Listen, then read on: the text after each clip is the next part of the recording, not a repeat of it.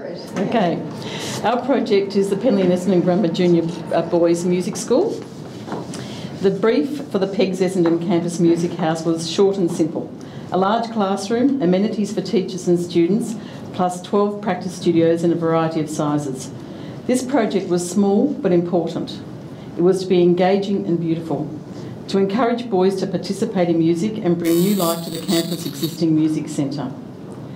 A central gesture underpinning the new building design was the line of a frozen sound wave. This line was superimposed across the facade. This was the generator of the northern aspect of the new addition. The junior boys campus in Essendon, opposite Windy Hill, takes up a large proportion of this inner suburban block. Existing heritage houses have been colonised by the school and they sit alongside a collection of school buildings from various eras. From the street, it is not always apparent where the school starts and the residents end.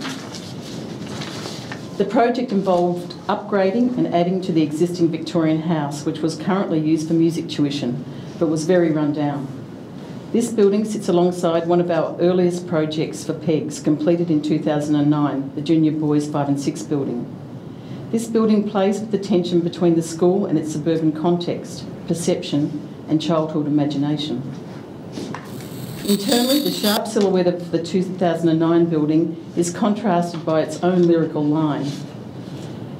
Together, the three buildings become more than the sum of their parts, activating a mini precinct through the ensemble of buildings and the creation of a fourth element, the courtyard. The new addition of the music school acts as a mediator between the formality of the 2009 building and the Victorian house. The new courtyard is a small play space which allows the maturing oak tree to breathe. The new building was to be a companion to the Victorian house. While it picked up on such things as the pattern brickwork, formally, formally it is in contrast with the existing building. The new and the old are connected through this piano keyed veranda space.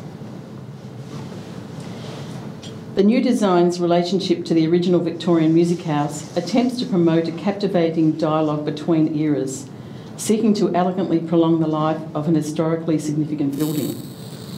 The addition re establishes identity and connections between the building and its junior boys' building's neighbours, and the school continues its light and respectful touch to its suburban neighbourhood.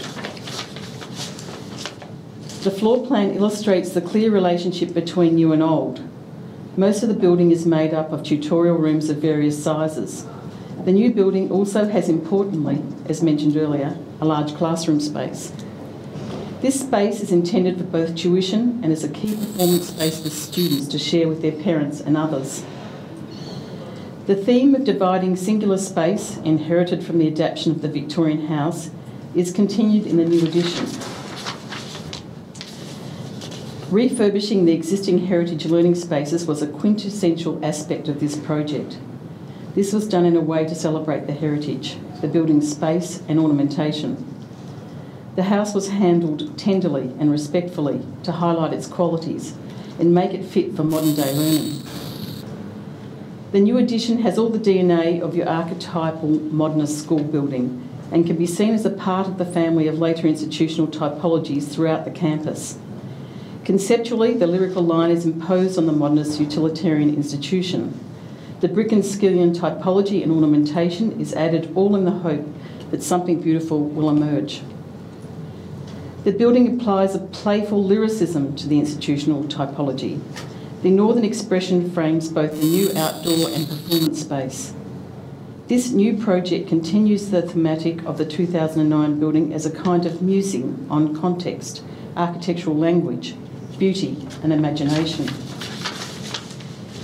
We work closely with the acoustic engineer in the specification and linings throughout. We set our structural engineer, Richard Drew, a challenge. Like all architects, we were convinced none of what they proposed was required. They, in contrast, complained about us wanting to lay bricks on a slippery dip.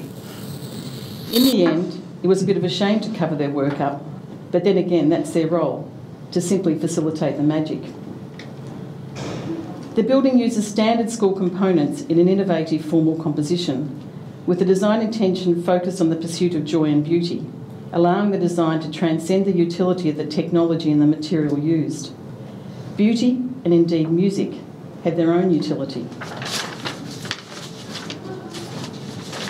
The Music Centre maintains a balance between preservation and reuse of the existing heritage elements. Passive natural ventilation is encouraged throughout the heritage building and in the new addition. The open veranda circulation space is an important element we have used in all the PEGS projects. The design capitalises on the northern orientation by maximising opportunities for the ingress of light and uses sun shading strategies that are integrated in the building's concept. The design incorporates multiple rain gardens and heating in the studios is controlled separately. The undulation and oscillation of the annex's facade engages with the lyricism of music as an overarching theme. The existing and contemporary meets in the middle with carefully considered slippages, and despite their formal differences, thresholds and transitions merge and the two become one. The new learning spaces are a stimulating learning environment and foster creativity.